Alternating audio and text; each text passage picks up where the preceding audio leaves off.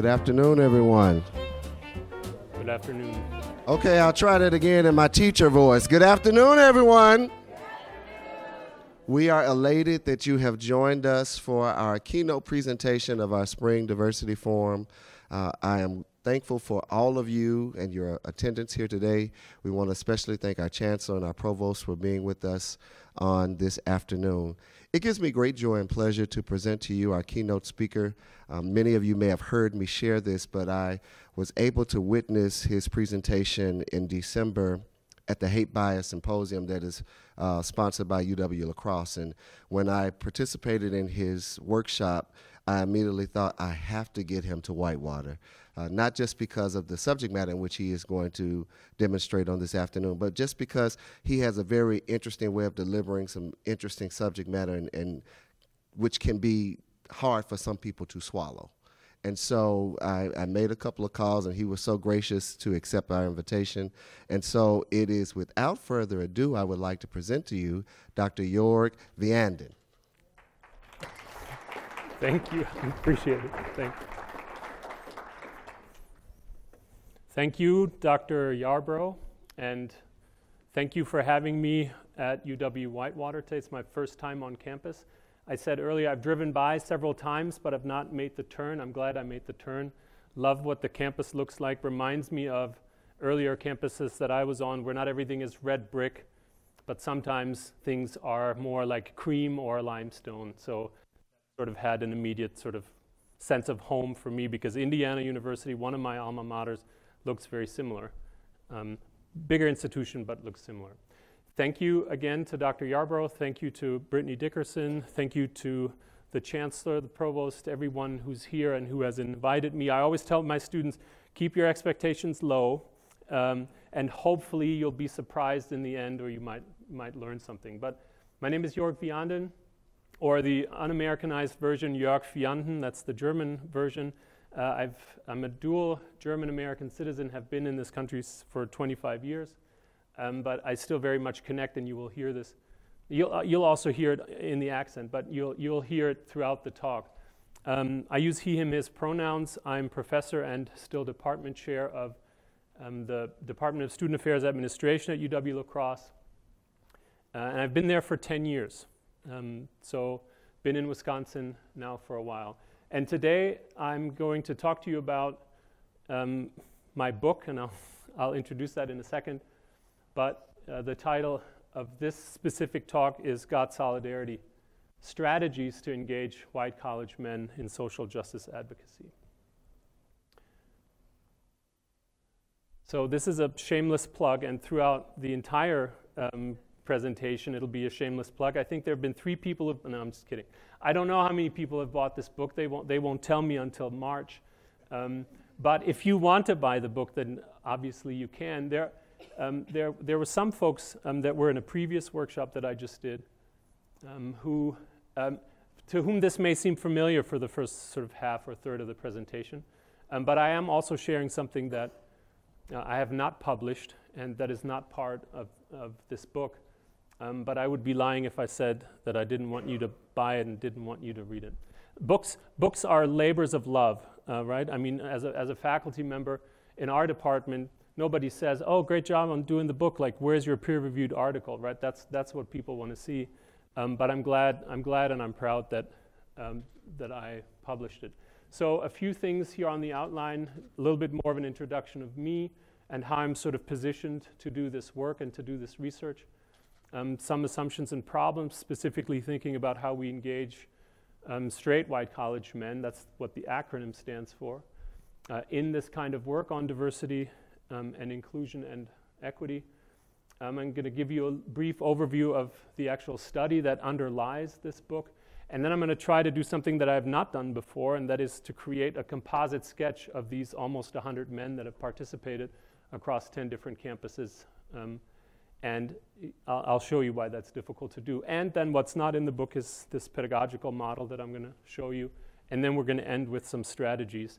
And it is not a super interactive talk, although there are points to ponder. And hopefully, in the end, if there's time, we can pass the microphone around and, um, and go, with, go through some questions. All right, so the, the first bullet. Um, th- this, this, this conference is about telling your stories, right, or telling our stories. Um, and, and I don't fault anyone for thinking, why would we focus or center the stories of straight white college men in a, in a conference like this or at a, in a talk like this? Um, it is not so much that I want to center them, but that I want to unpack them, that I want to have us think about or have other straight white male educators specifically think about what those stories or what those comments mean to them, what might be implications for teaching and learning or for research or for advising or if you're in student affairs for administrative work or mentoring work with students. And so these stories, and I say this in a book, are about these men's upbringing in families and schools, how they sort of perceive issues concerning race, gender, and sexual orientation. Those are the three salient identities that I focused on in this book. Their angst or anxiety or trepidations around confronting others who display this kind of oppression or language or joking. Um, and maybe I'm trying to make a contribution to figure out or to, to lead to a new understanding of how white male disengagement may hinder um, social change progress in this society and to hopefully make a contribution to understanding contemporary masculinities, um, because these are all male identified um, students. And I have done research specifically with men since my dissertation research um, 15 years ago, so I sort of continue this trend now um, with, with focusing specifically on white men. Um, so, a little bit more of an introduction. I identify as white, straight, cis, able bodied, um, upper middle class, although I wasn't born upper middle class, but by now probably consider myself as that. As I said, I'm a dual German and American citizen, and my race saliency as a white person allows me to focus on other identities than people of color or folks with other minoritized identities would. So I'm, I'm considering myself primarily a father, a partner, and a son. That is not what, what folks of color are able to do in this country or not what GLB folks are able to do or not what trans folk are able to do in this country. Um, because the society will sort of dictate their racial or their other minoritized identities as something that's more salient than student or than niece or than father. I'm also super privileged to be able to do this work as a teacher and a researcher. I teach um, even though as a department chair I get a course reassignment, but I love teaching. I work at a place like La Crosse, and I'm, I'm assuming that Whitewater is similar. Folks who are faculty here are primarily teachers. They're primarily um, viewing themselves as teachers. Research is important, but teaching and teaching excellence is key on a place, on a campus like, like this and like ours, and that's, that's what I'm most excited about.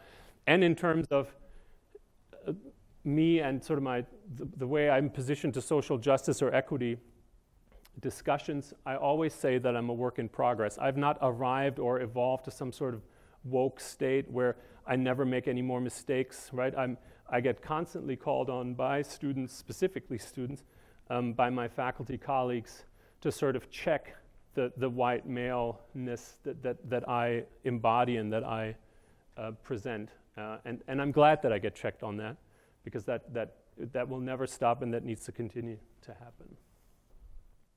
A little bit of a caveat before we start. So, in this study uh, and in this book and in the research, gender is treated in the binary. So, we have men as participants or folks that identified as men. Um, we have research that, that uh, discusses the gender differences between men and women. But when I say mas- masculinities, and when we talk about masculinities in the book, then that means that we include all men, all that are male identified. Um, no matter how um, they are born or no matter how they identify otherwise, if they identify as men, then they are included in the term masculinities. And that is clearly also evolving, right? There are um, many more and much more research out lately on trans masculinities or on fem masculinities that, that are really important as, as a contribution to masculinities studies in general. In this study, um, th- that is unfortunately not part of it, but there are some thoughts about sort of moving that in a different direction. I'm making four assumptions in this book and also in this study. The first is that oppression in this country and in other countries was created by folks who look and identify like privileged social groups, and we have the responsibility to help end uh, or disrupt um, that. Um, my primary audience in this, um, that doesn't mean that folks of color, uh, women, folks with different or diverse genders or sexual orientations aren't included or shouldn't be included, but my primary audience are other straight white male educators um, to whom I can say, you ought to do this work. I would not be able to say that, and I wouldn't say that to folks who are minoritized by people like me. So if you're triggered by straight white men in your classrooms or in your advising office or in your practice, I won't say to you, you need to educate them.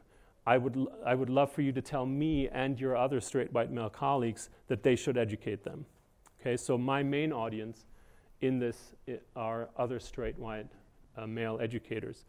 Um, uh, we also assume that privileged folks or folks with primarily privileged identities ought to do some self work, they ought to develop empathy, build solidarity, part of the title of the, of the book and of the study, and become accomplices to minoritized folks in this fight for equity and social justice, which they have been involved in since the day that they were born um, and continue to be. And for us, it's not the case that we need to take this fight over, sort of this white savior mentality, but to be accomplices in that work, to support that work where we can, to work with other white folks who may not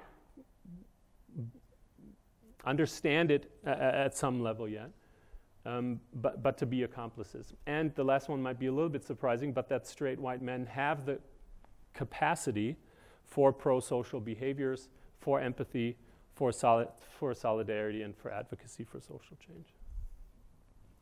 If you think about the problem either as a research problem or a problem in practice, we think about sort of four different ones. First, systemic oppression um, that is widespread um, in a state like this, in a country like this, on a campus like this, or mine at UW La Crosse.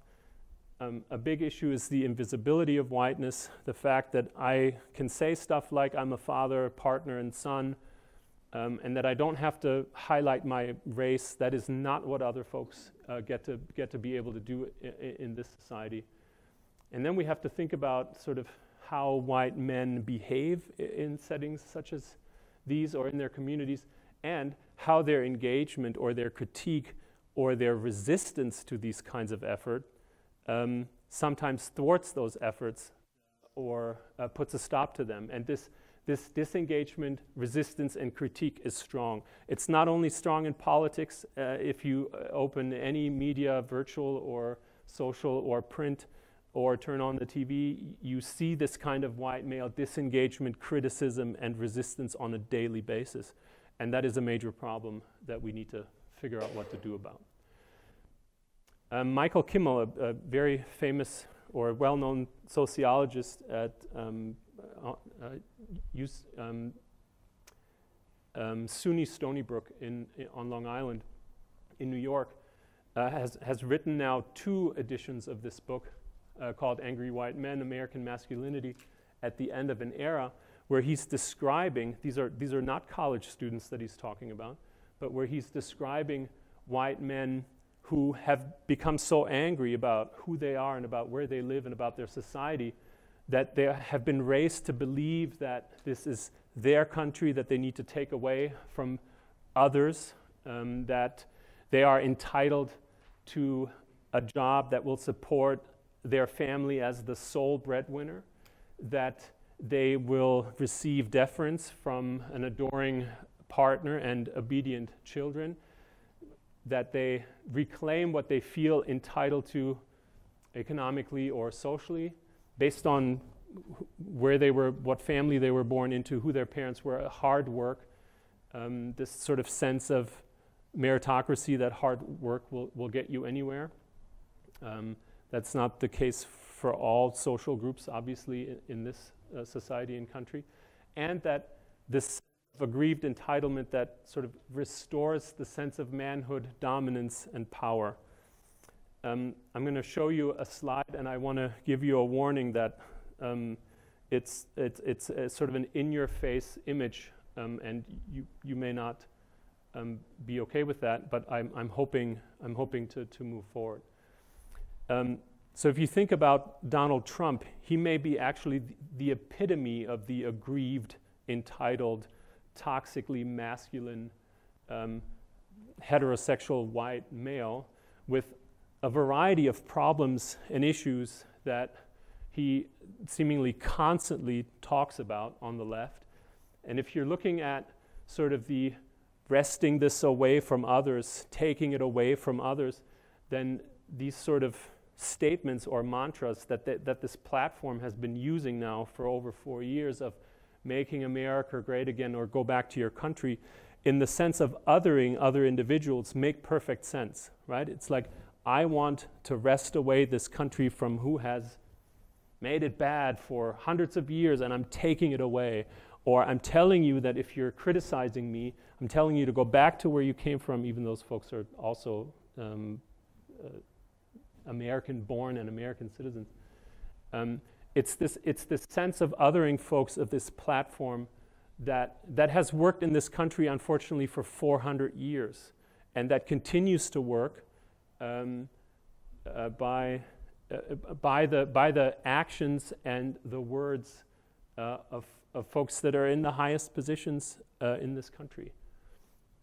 And to not make this super political, I also have a Hillary Clinton photo later on, so that just just to make sure that we're as even as we can be. And I'm also going to be critical of that. So, problems on campus. This is what I mentioned earlier. This is a photo of um, Indiana University, the sample gates, uh, same sort of limestone, uh, sort of cream-colored accents that really reminded me today of that. So we have to talk about problems on campus as well. So we know that from a vast amount of literature. Linda Sax, in a, in a very famous book uh, more than 10 years ago now, but continuous research out there on this, that white men do, in fact, actually learn from these kinds of conversations, from these conferences, from a course on diversity and social justice. It's just that um, it's been difficult for them to sort of find access into that. If you look at NSSE data over the last 15 years at least, we know that um, white seniors, this is not white men, this is all students. White seniors interact 10% less frequently across difference than all other social groups, and white men always uh, interact less than white women uh, in this sort of sense. And um, NSSE is sort of administered in the first year and in the senior year. The, when you look at data o- over the long term, then interactions actually stagnate between the first year and the fourth year. And there's a variety of thoughts that we might have about why that happens, but you might see it also on a, on a campus uh, such as UW Whitewater. What we said earlier, this disengagement, some, might, some white men may also ardently resist, and there's examples in the book, uh, of a classroom, of a conversation, of an effort or of an initiative, of a conference such as this. And then, so that leaves us with this major dilemma that I'm calling that if, if we have white men who come into college with these skills or, or these um, qualifications to sort of do this work, and they don't have any touch points from us, and they leave or they don't participate or they exit, then they may actually leave college not any more adept at handling or working through these issues as when they came in. And, and at that point, I would say that a person like me, as a straight white male educator, ha- has sort of failed in a way, right? Um, we have already pawned this work off for too long, and, and now we're getting f- folks in and out of college without them having any additional skill. That might be an issue of failure on, on the part of, a, of an educator like me. We're also calling, or I'm also calling um, white men uh, climate creators on a, on a pre- predominantly white institution such as this. And they don't do this just by um, welcoming or pro social actions, they may also do it by inactions or by condoning, condoning oppression that they, that they notice in their environment or that they notice from their friends. And this is, by the way, not exclusive to straight white male college students. This is also uh, this, uh, this also pertains to white male administrators, white male faculty, white male students of, student affairs professionals. Um, it, it, it, affects everyone on a college campus is not just an issue that um, we worry about students getting involved in. This last bullet is really important. Um, lots of research over the years that talks about this vast overestimation of the campus climate by white students, um, faculty, and staff. So, this idea of does racism exist on your campus? I'm not sure. I don't see it. I don't think so. How does everyone feel on campus? It's a pretty welcoming place. I think everyone feels fine. White students, white faculty, white staff say that all the time, not just at a place like this or La Crosse, but it's all over the literature. Um, and, it, it, and it is part of this understanding of what do I do to a, a campus climate and how can I affect that, that climate in a way.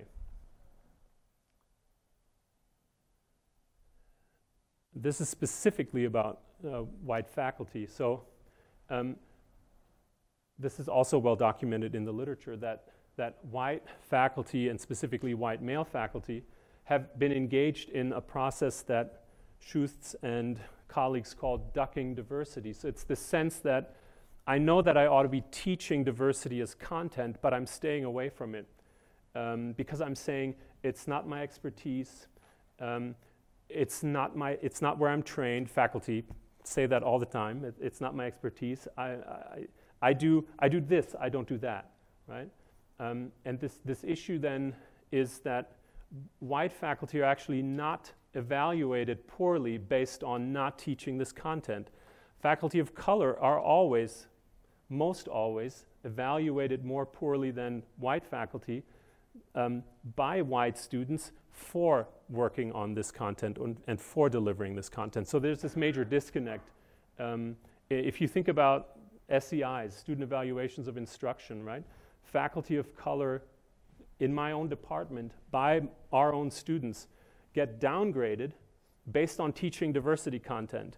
Me does not get downgraded for not teaching diversity content, right? So this, this is something that exists uh, on a college campus and it contributes to the problem of climate and, and what we do about it.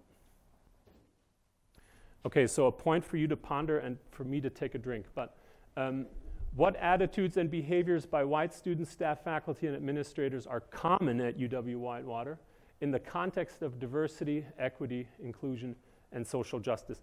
And if I had planned this better, we would do this in a sort of call and response but just for yourself, just sort of reflect on this question and think about your answers.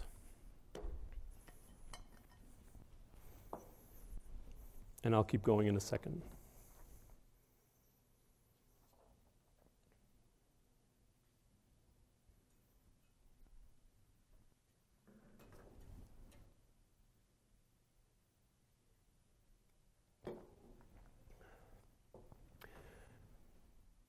A conference such as this or a week such as this at UW Whitewater or what, what we do every semester or every year at UWL and what, what countless institutions do throughout the country in terms of diversity conferences or equity based or social justice based conferences means to me that this work is happening, right? So we're doing this work here, we're doing it on other campuses.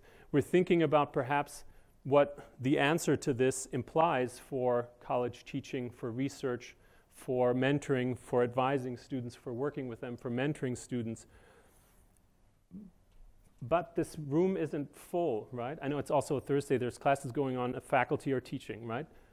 Are there other folks on campus that are having these conversations? Um, are, are, there, are there discussions happening such as this um, that are going on on a, on a near daily basis? Or is this something that at a predominantly white institution we do all the time and say, that's the work of multicultural student support. That's the work of the Pride Center. That's the work of a diversity focused office. I'm not a diversity focused office in residence life where I spent 11 great years as a professional. Other people do that. I don't do that, right? So, how, what, is, what does that imply for the work that we need to be doing? So the next few slides are just to sort of snapshot th- this, this research study a little bit more. We call it the Straight White College Men Project. Data collection took place between 2013 and 2016. And then it took three years to write the book. And the first time that the, the box came home um, and I opened it and I was so proud, and my oldest daughter, Greta, came home from school, and I said, Close your eyes and open your hands. And she's like, oh, Papa, whatever. And so I, she's holding out her hands. I put the book in. She looks at it. She goes, No lie, that took you way too long to finish. Um, and I said, and I said, I love you too. Um, and uh, so, yes, books are a labor of love, and it took a while. But anyway, uh, I, th- I, think Greta now appreciates it. But in that moment, typical teenager, like, whatever, dad. It's like, it's not important. Okay, um, we started with the question of that, that you might ask yourself on a campus like this where are all the white men when we talk about kinds of conversations or, or topics of diversity, social justice, equity, inclusion? We started with a sample of 92 straight white college men at 10 different institutions, and then we added later 80, 88 participants who had at least one minoritized identity. Um, so it became 13 four year institutions in the end. The book is based on the sample of 92 straight white men. We uh, 35 identity caucus focus groups, and that meant that the white male students were never in the same focus group of a person with at least one minoritized identity. So we caucused those groups um, deliberately. We used phenomenology as a, a, a, qualitative methodology, and we used the phenomenon of sort of diversity on campus, or the interaction with diversity on campus, or the potential engagement in, in diversity on campus. There are more than 2,000 quotes. The book is full of them, but there's obviously a whole data set left of the 88 participants that I have not done something yet with, and I'm hoping that this summer um, I can start on that. And whether it's a book or not, we'll see, but that, that data is just as important, or perhaps even more important than the first set. You, you see here my, my um, cell phone picture of the actual table of the, the institutions in the book. So these are all pseudonyms to, to maintain confidentiality of the students. The institutions are mostly in the Midwest, but um, a few sprinkled here and there on the, in the South and in the West. Um, private and public were sort of um, uh, equal. Small liberal arts, liberal arts college to large research institutions and everything in between. Percent of white undergrads, St. Margaret University has the lowest percentage of white undergrads at 50 percent.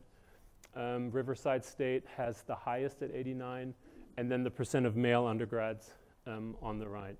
Um, just, just showing you these to sort of see where, where we were and where we, did, where we did the research. The research team consisted of three faculty and a graduate student. Um, the sole author in the end of the book was me, but I'm, I'm clearly mentioning them that without them this would not have happened.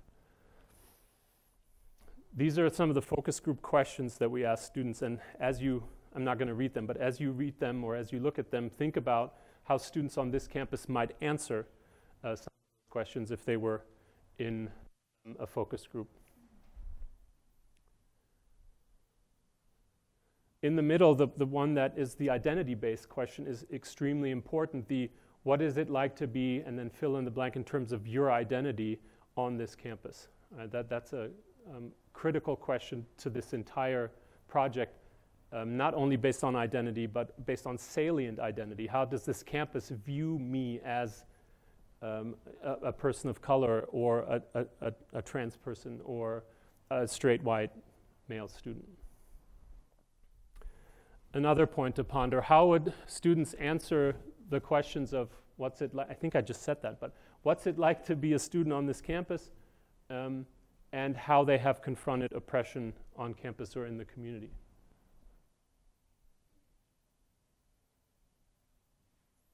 And you can sort of, in your own mind, think about how students, maybe even how you would answer this, these questions, and, and what sort of that implies for how folks work with one another, interact with one another, s- study with one another, learn on this campus.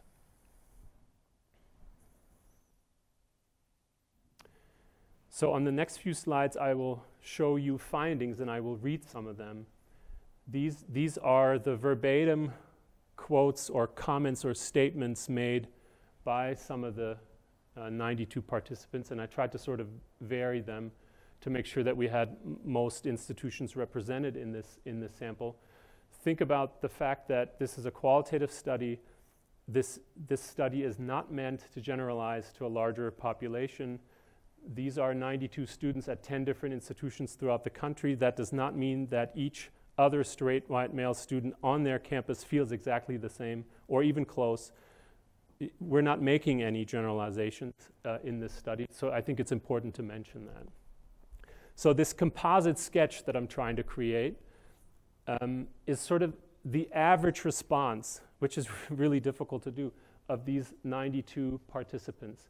So, they're talking about growing up white and growing up isolated, even in metropolitan communities. And we talked about this earlier with uh, Chancellor Watson in, in, in the previous um, workshop. This, this sense of affinity of white people to continue to want to be uh, affiliated with other white people has been documented in the literature for 30 years. Um, it, this, this is one of the reasons why NSSE shows this stagnation between year one and year four because as we are first year students coming to campus, we might be open to racial difference or to interacting. But then as we sort of move into the circles of who, who we're most like, then we move off campus with them, then we have jobs with them, and then we're not interacting with the other folks anymore who lived across from us in the residence hall the, in the first semester, right? And this sort of affinity continues throughout life, and it starts early in life, uh, and, and our research showed that as well. Diversity is not about us. Uh, I'm, I'm, I'm making this painstakingly obvious, and it's sad to say, but diversity, social justice, equity, um, and inclusion conversations may, may be entirely irrelevant to many straight white male college students. And it's really stark to sort of say it like that. Um, but, but unfortunately, in our study, that, that's what came out. I'm not here for this. We are the victims of affirmative action or reverse affirmative action.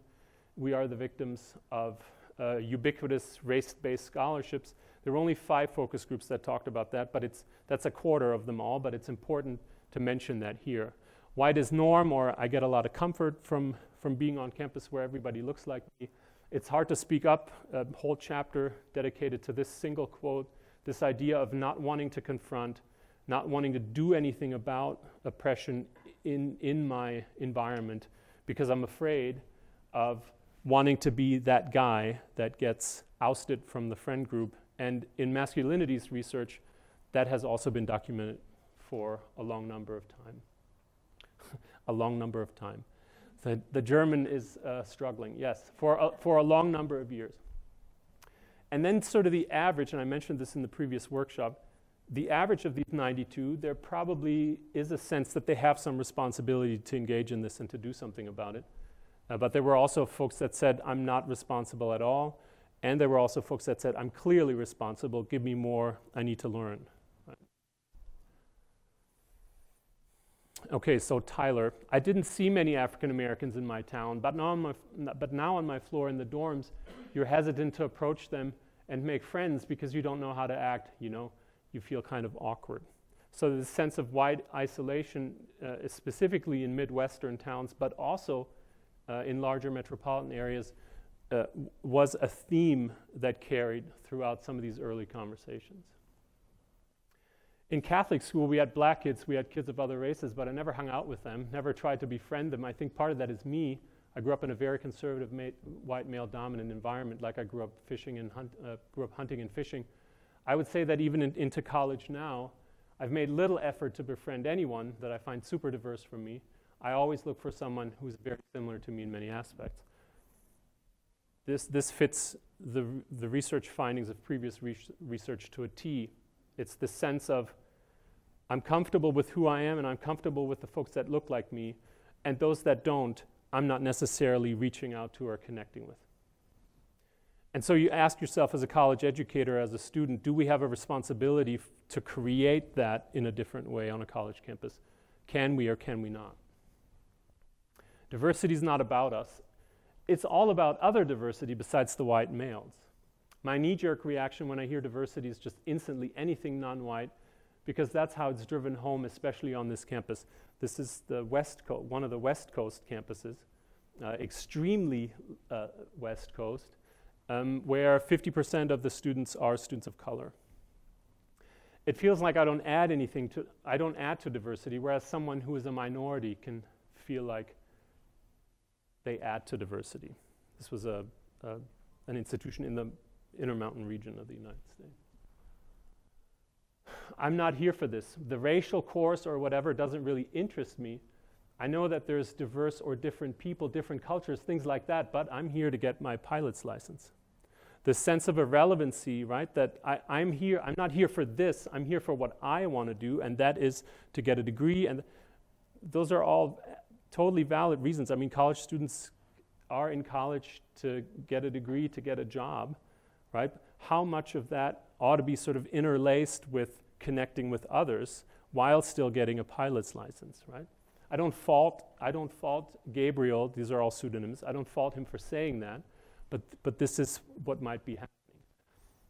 Um, here's an old reference. You can see how old this research is. I'm not sure that anybody still watches Duck Dynasty or where you can even find it. I'm sure it's on YouTube, but it just doesn't seem enjoyable to me. Like I'd rather sit at home and watch Duck Dynasty. It's not that I don't care, it's just that I'm not necessarily interested. We're ta- we were talking about how to engage straight white men into diversity programs or co curricular events. We're the victims. Again, small group of students talking about this, but important enough to mention it. On the first day, the professor f- pointed out how if you're white, male, and middle class, you're a horrible person. I felt kneecapped from the beginning. I call this white male bashing or perceived white male bashing that students talked about professors doing uh, in, their, in their college classrooms. And most of these professors were, were people of color and women. Right? So you sort of see the trend of who, who they're sort of listening to. I applied to the engineering school for our state and didn't get in. It's interesting how I'm just another white guy, and then there's this Iranian guy. Because he's more ethnic, they needed to have a certain diversity quota. Students don't know what an institution puts into the requirements for admissions, let alone they know what goes into the admissions process and how someone is admitted over someone else. But to them, this, this perception is reality, right? That if, the, if they see a person of color or a person from uh, an ethnically minoritized uh, culture or ethnicity, uh, gets in and I don't, then that, mean, that must mean that that institution has quotas, ethnicity based quotas or race based quotas. Whether that's actually the case is beside the point. To them, this is reality, right?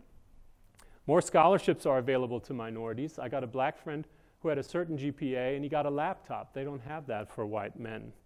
Well, on that campus, it's very likely that they also have it for white men, but in this case, our students sort of didn't know what all went into who got what uh, on a college campus.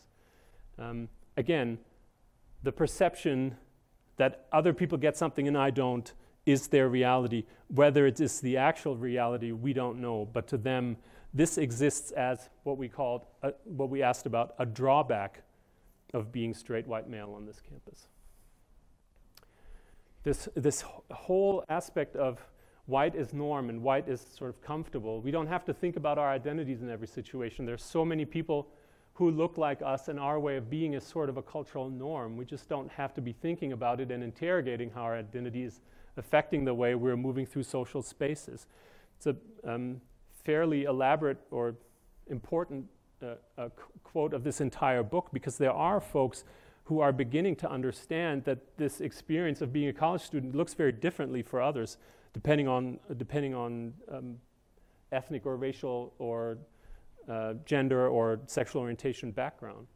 Um, but it is not the majority of folks who began to realize that or who talked about it. What I said earlier already, this idea of it's hard to speak up. It, it's hard to speak up to family, specifically family, family, friends, and strangers. We asked all those three parts. I don't think I would confront I just feel like, say, if I would say something, my family would just immediately judge me. Like, you know, he goes to college, and does he feel smarter than the rest of us?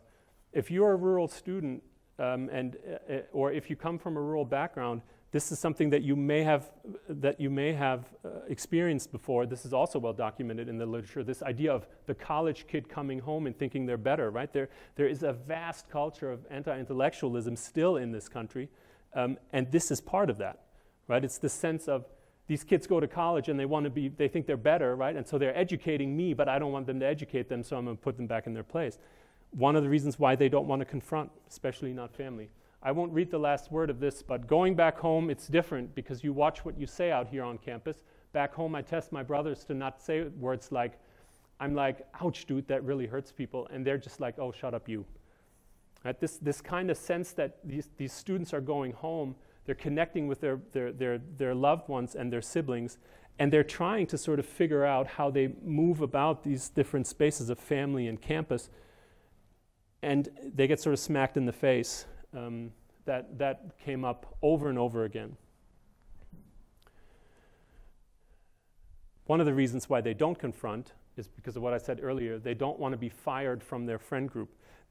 As men, we, uh, even though we're not socialized that way, we continue to want to belong to something, to someone else, uh, to a friend group, to people that make us feel good.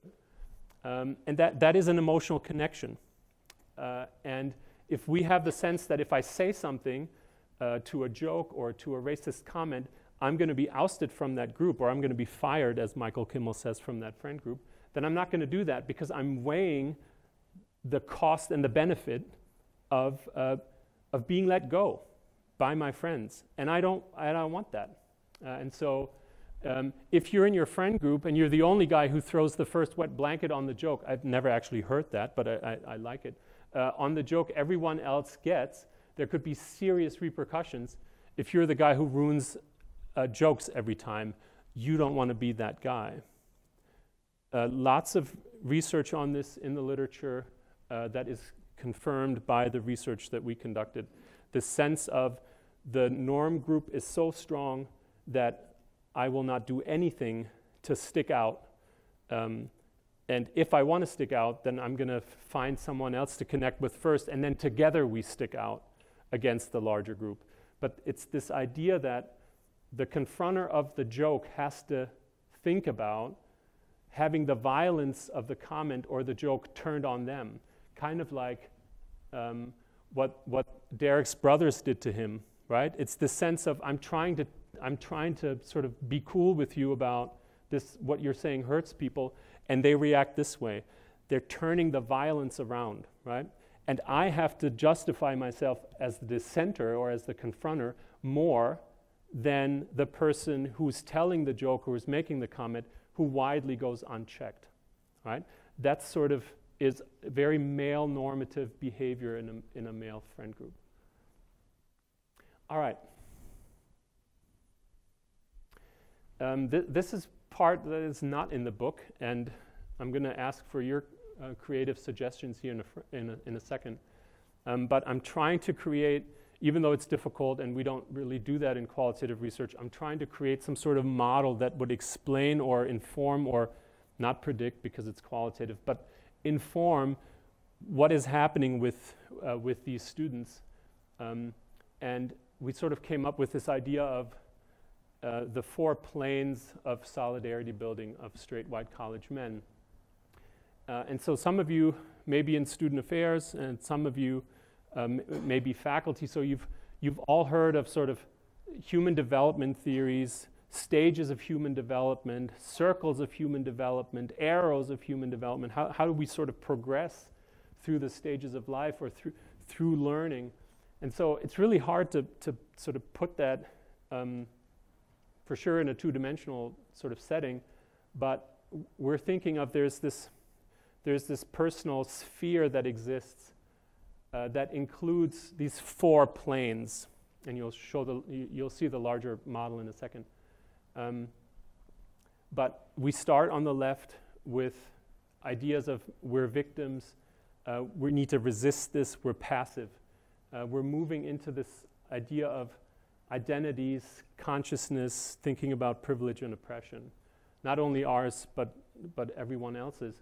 And then we slowly move into this area of um, responsibility, engagement, advocacy, and hopefully, um, maybe as an educator, I can say hopefully, because at the end we have empathy, solidarity, and to being an accomplice and to being in and living in solidarity with others.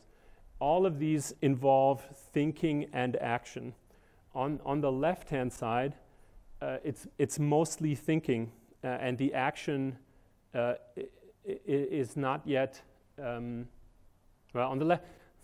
on the left side, there is very little thinking about others, and there's very little action directed towards others. As we get into the green, the, the action and the thinking get to be sort of thinking about others a little bit more.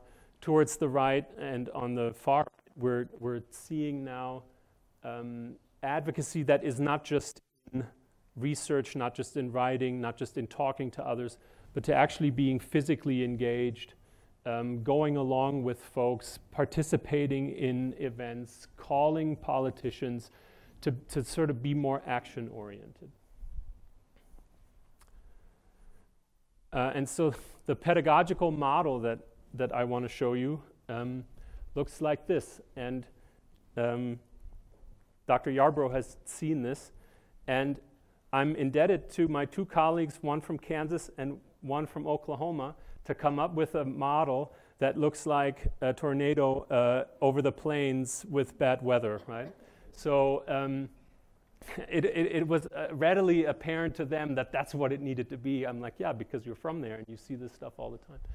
Um, so we have this structural or systemic sphere, sort of the clouds in this, and this is sort of whimsical. I get that, but I, but I think it, but I think that it sort of represents what I think we ought to be doing as educators, um, and that is to look at the structural or systemic sphere that exists with socialization of students before college and in college, and we're part of that even before college, but we're definitely part of it now, and oppression and privilege in a variety of ways, and the individual or personal sphere that I just showed you, the planes of solidarity building, and where we come in as educators, sort of as a, as a I can't say that in English, force, right? You know what I mean? Centrifugish, yeah, if, there, there you go um, sort of move across the rain and the planes that are going this way. So if we're moving across, and Chancellor Watson talked about this earlier, what we want to create in college classrooms or spaces like these or in the co-curriculum are disorienting dilemma, intellectual vertigo, some people call it ontological dizziness, um, dissonance and challenge. Right? We talked about dissonance about an hour ago. Um, it's not just the educators that have to do that. It's also the, the people themselves, right? The self also has to do that. And their peers also have to do that. So if, if we all sort of do that together, um, then hopefully we're creating a student who is more aware, more critically conscious, more active, feels more responsible, builds solidarity, connects with others, doesn't isolate from others, uh, and, and sort of continues to move through college and hopefully life after, when, by the way, all these men will likely be in positions of power, uh, influence um, in the economy, in industry, where they can actually make that kind of change. Um, and, and we sort of need to help get them there. So, um, so talk to me afterwards, but the windy model, the vertigo model, the thunder model, I have no idea what, what to call this, but, but, but, but the main thing is that we provide this, this, this force as educators that, that moves against this, um, this, this strain and this movement um, that straight white men um, may be sort of on a path of least resistance, right, in, in terms of um, diversity and, and, and, social justice. And we need to provide that resistance. Uh, and um, yeah, I'll stop there. Okay, we started at uh, 1 and we have till 2.15. Dr. Yarbrough? We might have time for question and answers. All right, famous last words. If, if I say to students, we're ending at 12 and they're still there at 12.15, that's a problem. So yes, uh, I, I, I, I, promise to be um, quick. Um, there are nine strategies that I use in the book, and I want to mention uh, four here specifically. And now I have to go to the book and actually read. Um, and here is the much awaited um, Senator Clinton uh, photo. Um, what I'm calling for specifically white male educators to do is to join, not disassociate. Um, and I don't know if you remember this comment, but I'll let you read it for a second.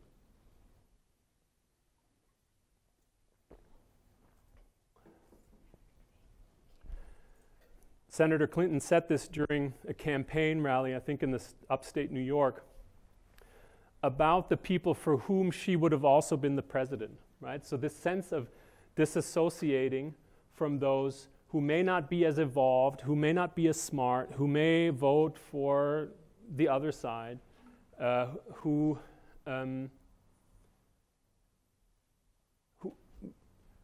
who, who, are just to be criticized based on who they are or what they believe, um, is this sort of sense of distancing or disassociation. We see this all the time, continues, continuously in politics. This is one of the reasons why populist politicians had the chance to be elected. Um, this is why one of the reasons why Brexit happened, right? Because we're distancing ourselves from the immigrants and we're distancing ourselves from the people that want to be here.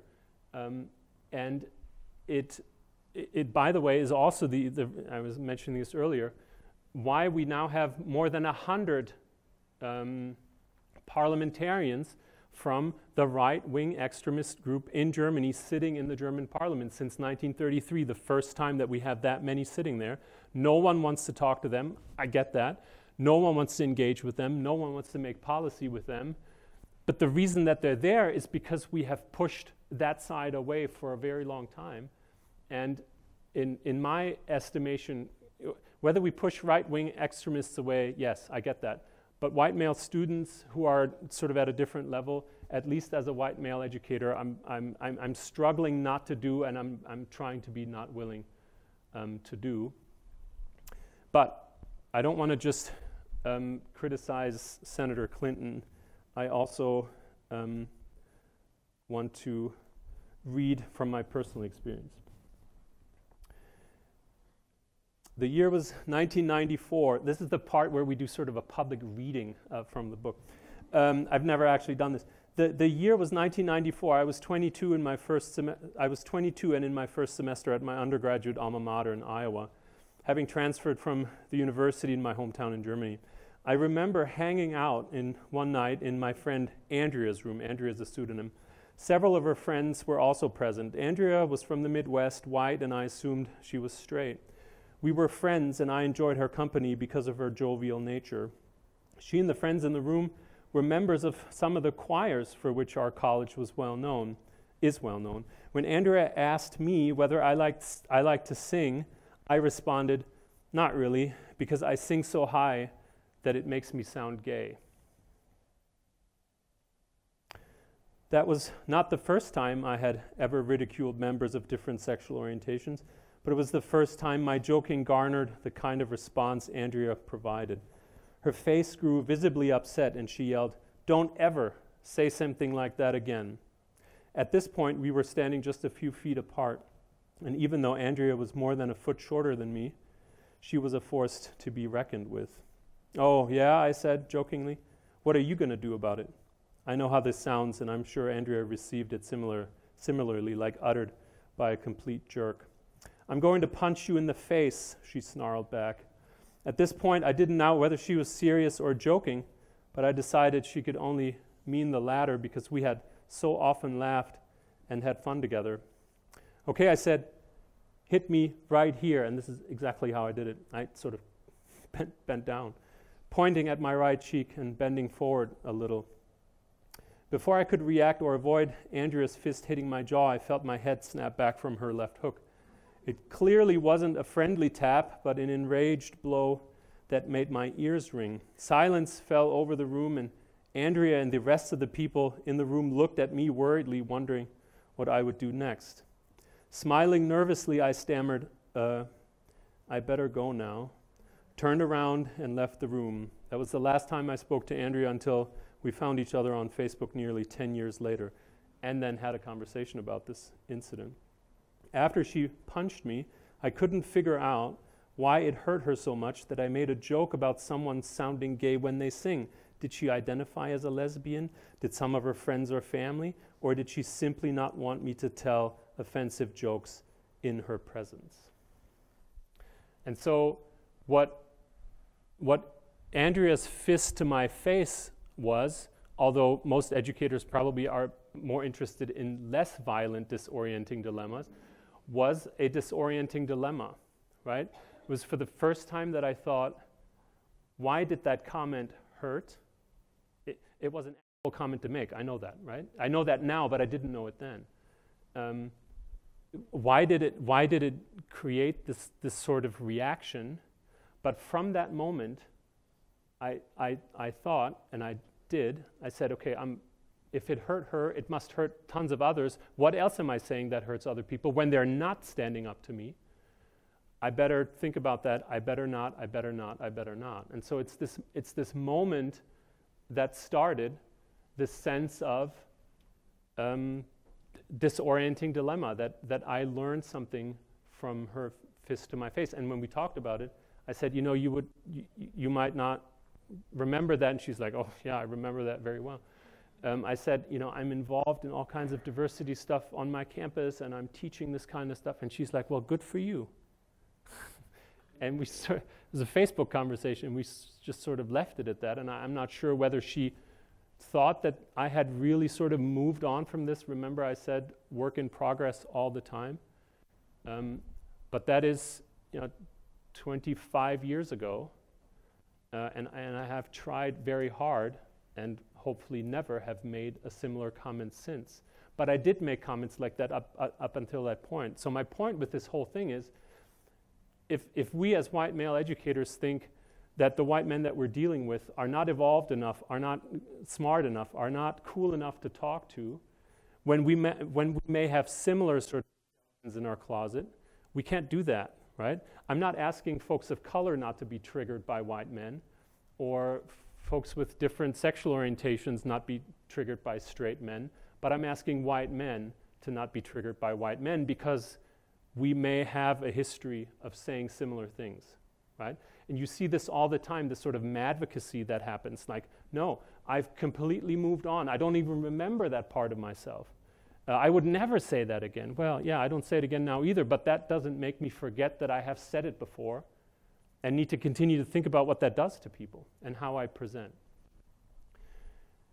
If we if we if we continue the disassociation, what we what we in fact do is what I call in the book and other places the ability to let straight white men hide in the corner with a blanket over their head. It's almost like a security blanket, right? It's the sense that their identities allow them to disengage from these kinds of conversations in classrooms, in programs, in co curricular settings. And if we disassociate and if we don't pull them back out from under that blanket, we have missed the chance to engaging them, especially as a white male educator.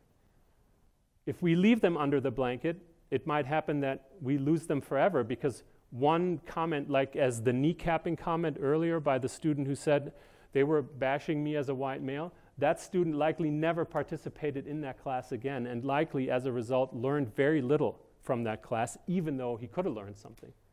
Right? So this is something to think about is how much are we allowing them to retreat into a corner, being in a class, not saying anything for the rest of the semester, or how much do we actually sort of pull them out from under that? We just talked about um, disorienting dilemmas, um, obviously, but um, something that's important is the last is the last bullet, and that is it's completely negotiable for students to engage in this work. I know that we're not going to get all students engaged in this, and that might be fine. It is not negotiable for educators not to create this kind of setting where students might have the ability to learn. And I don't think that, I don't think that faculty or, or student affairs professionals do this on purpose of not sort of trying to engage men in this, but it is, it is critically important that we be this force that pushes against the systemic oppression and the socialization that, that they have been that they have been participating in for 18 years. We have them for four to six. I don't know what your six-year graduation rates are, but we have them for four to six, right? That, that is a lot of stuff to unlearn in four to six years, especially if they don't participate. Um, I don't know what your diversity requirements are on this campus, but I'm calling for in the book to require diversity in all majors, regardless of whether it's in the social sciences, in the natural sciences, in business, um, in engineering, anywhere. Anywhere where we're dealing with humans, we have the ability to talk about diversity, right? Even in accounting, even in management, uh, ev- even in computer science, where we think what does this have to do with diversity? Well, it has something to do with diversity because the folks that are sitting in front of you or that are in front of you in, the, in these chairs um, live and they have something to do with this. So if you think about sort of a buffet, um, I liken this, th- this requiring diversity in the major uh, to, to this sort of sense of buffet. So you're, you're moving along the buffet, you're taking something that you want to eat. I mean, you're there, right? You're hungry. Uh, there's something that you ought to eat, fruits and vegetables, um, other stuff that you ought to eat, and there's some stuff that we don't want because I don't eat herring and I won't touch it, right? Even though it might be good for me. Um, straight white college men don't choose enough of the stuff that would be good for them, and there's nobody standing behind the counter that says on the house or from the kitchen, right? So they're walking through this process uh, by themselves um, or they're moving through this process by themselves without having someone else say, What about this? What about that? There are 92 men in this study. The average overall number of going beyond a diversity elective for all of them was 0.6. That means in roughly 550 semesters that these students were at their alma mater, they together took 55 diversity electives. 550 semesters, 55 diversity electives the institution didn't require them to take. The, the, the folks with minoritized identities in the sample were almost three times that high. Right? So white men are not taking these courses unless they're required to do so. And sometimes when they're required to do so, the institution chooses courses that have nothing to do with sort of American senses of um, oppression, power, and privilege. They might be, as one student said, a Russian language course that stood in for a diversity course, or a German language course. We, we can't afford to have students move through this um, by taking courses that are globally focused. And we call it a diversity requirement. These students move through they have no sense of American diversity in the sense that, that, that we've been talking about for 400 years and that's been going on. Th- this is a major issue.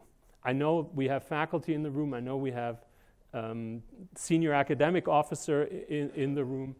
These, these are issues that um, are important to think about, and lots of faculty say, let the social sciences deal with that. Let the humanities deal with that. Sociology is a great major on this campus, lots of courses on diversity there, right? But not everybody is going to be a sociology major. And folks still need this kind of work. Right? So that's, that's something to think about, and that's something that's important. Listen and follow. I, I don't know if you remember last fall this very famous now um, article in the Dickinson College student newspaper by a, a, woman by the name of Leda Fisher, who said, I cannot describe to you how frustrating it is to be forced to listen to a white boy explain his take on the black experience in the Obama area. Hey, Brian, I'm an actual black woman alive right now with a brain. In what world would your understanding of my life carry more weight than my understanding? Right? So, this article, should white still be allowed to talk, it was like a brush fire in, in social media, right? That this, that this woman, this biracial woman, was allowed to say these kinds of mean things about the white students that are, that are among her in her classes, uh, when she has a perfectly great point, right? To, to, to, to have white male students listen to and follow the experiences of others. Because the experiences of others are just as valuable, perhaps more valuable in a specific context than their own. But white men get so much airtime, are so confident, uh, are so vo- vociferous, always talking, always deciding, always leading. Think about that if you're teaching or if you're a student. Who first talks in some of your classrooms? Who first talks in some of your faculty meetings? Who first decides, right? Who is most confident? The research will. I just asked you, and you're sort of talking to one another. Maybe this isn't true at Whitewater, which would be great. The research has said for years men do that more. Men are more confident, even though they might have no reason to be. Men decide, right? This is not just exclusive to students, by the way, as the, as the fourth bullet says. Don't expect minoritized people to teach you. People with minoritized identities do self work. That's part of the following, right?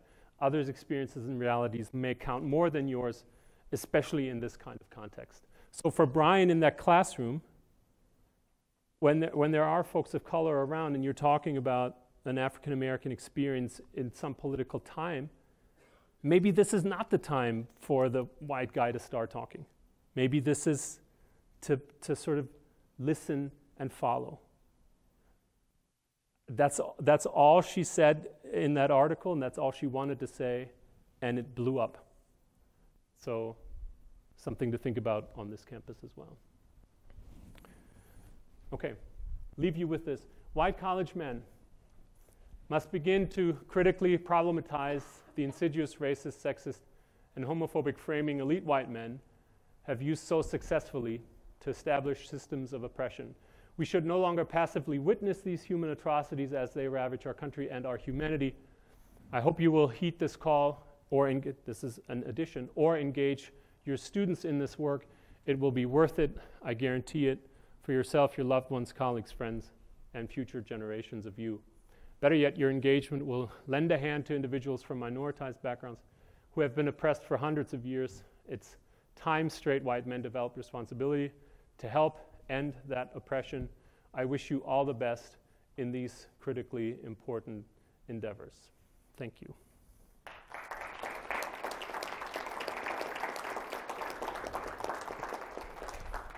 We do have time for questions, so if anybody would like to pose a question, I will bring you the microphone.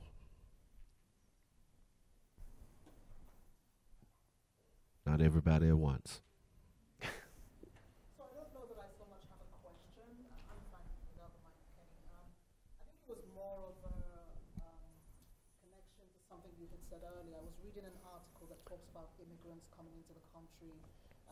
idea of them not having access to um, welfare and da da da because they should be able to pull themselves up by their bootstraps. And um, as an immigrant myself, I sort of like thought, oh, okay, let's whatever. But um, it felt very much like something that somebody like a white person, like a white person in power, would, right, like would say, and, mm-hmm. and a lot of those things are coming from the top, right, in terms of the government. But it does feel very much like something that someone would say if you have no understanding of, you know, how people how people got got here, um, or the sort of like uh, trauma that surrounded their arriving. Absolutely. Right?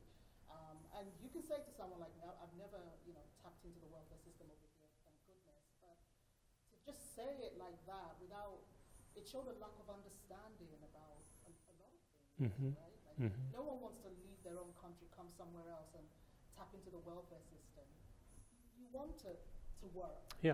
Right? Yeah. But some of that language just seemed like really you have no understanding about. yeah. Well, it's the idea of aggrieved entitlement. I'm telling you that because I'm afraid that you're actually going to take something away from me. And it's this zero sum game that if you gain something, I might lose something. And I'm not willing to do that. I don't know you, but I'm not willing to give you the power over me that you win and I lose. And what, what we don't understand, especially as men, in the sense that a socially just world means that everybody benefits, not just certain people and not just folks that are minoritized. Everyone benefits, right? Economically, socially, politically, institutionally, educationally, everyone benefits. But the propaganda has worked very strongly against that. And so when we hear Honduran immigrants to the border, oh my gosh, what are they bringing in? We better, right? Or uh, um, Eastern European refugees or Syrian refugees, oh my gosh, no way, because they're going to be on welfare here pretty soon, right? The, the, this is propaganda that has been going on for far too long, and people like me have listened to that and said, must be right if they're saying that, right? So yes, thank you for thank you for saying that.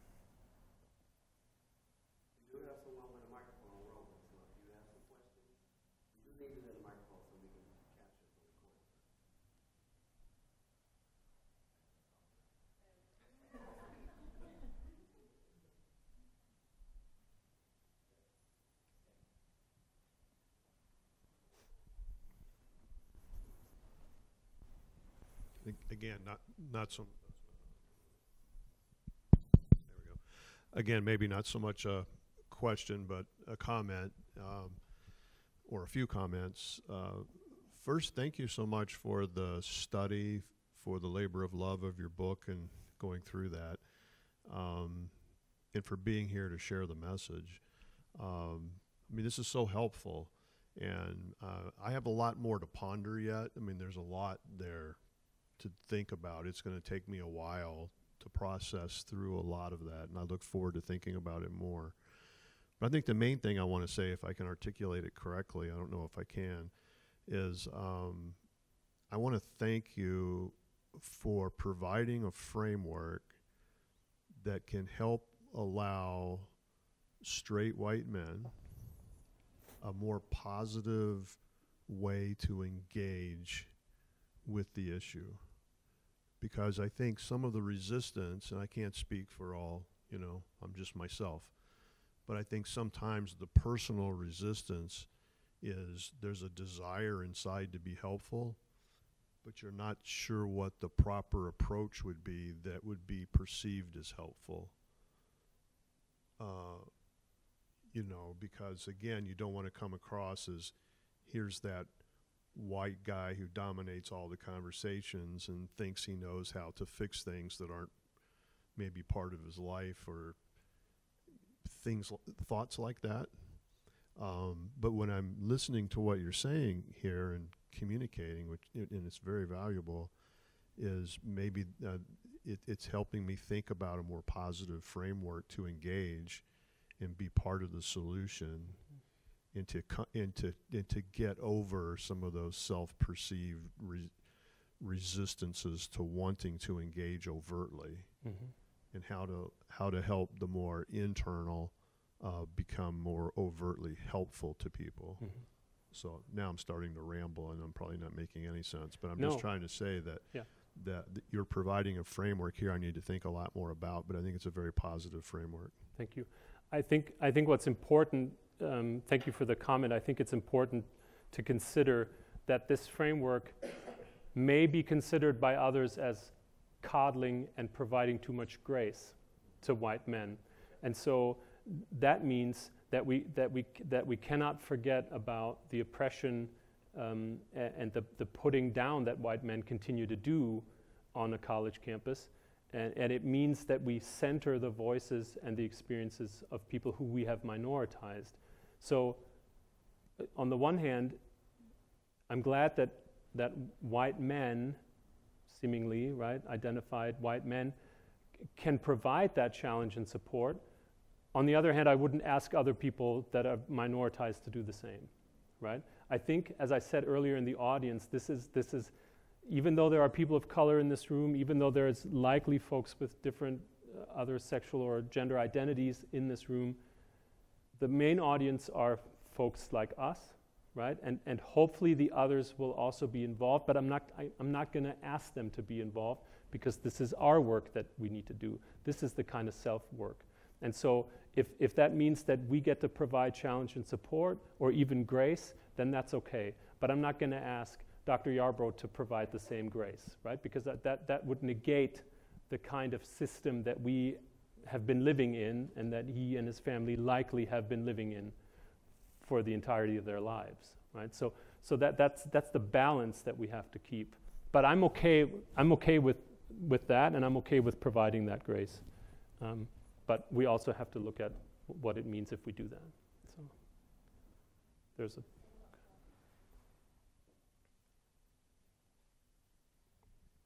I'm curious in the schematic that you had with the uh, intellectual tornado, yes.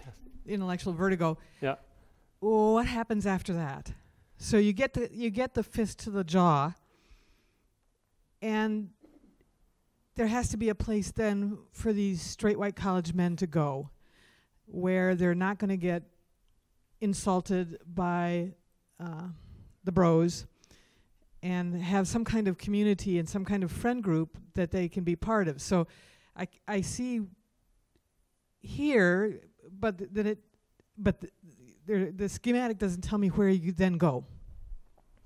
The very quick answer would be, and the, I, I'm, I'm just kidding. As a college educator, they're leaving, and I'm okay with them being more educated. No, um, I don't. I don't know where they go. Uh, but but but what but what the research says, and hopefully what, what this work may do, is to send them on a way where they are more critically conscious, more empathetic, um, more solidary with folks, and hopefully that brings them on a path of community with others, even, even if those are other straight white guys. But I, I'm not sure that, in terms of the model, which is obviously incomplete and imperfect as all these models are. Um, that, that there's a space sort of that we have claimed that says, this is where all the straight white guys go who have thought about this and who work on this, right? Um, I, I, do think that those spaces exist, and folks that are here um, and, and folks on this campus uh, and at UWL and all other campuses, there are white men that do this kind of work and that have begun to think about this and that are in community. But now I'm rambling. I'm not sure that there's an answer for, for your question that I have within the auspices of this, of this study and this book.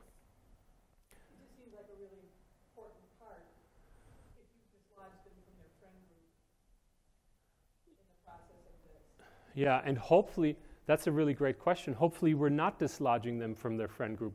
Hopefully, we are integrating them into that friend group with a different kind of mindset that hopefully then the friend group takes on. Because I have, I, have, I have friends that I've had for 45 years, and we can, not we, but they continue to make comments, and I'm like, all right, okay, well, we know what you do. It's not about what I do, it's about figuring out how to not do this anymore because we're 48, right? So let's move on from this. And hopefully by that, and by sort of connecting in the personal sphere with your families, which is so difficult for them, we begin to integrate and we begin to see some of those comments that Derek had from his brothers sort of dissipate over time. It, I also have to be sure that we know that we're not going to be part of all those conversations once they leave. And so part of this is, and hope is a, a widely stretched term, but I also hope that the, the education that we have provided in this sense allows them to have these conversations much later on so that they actually leave here and, and are developing in some way that they may not have thought about before. But that could be the next project where we connect back with them to figure out where they've been. I know we're over time, and I want to be cognizant of you all have other schedules, so. Can we give Jorg a hand? Thank you.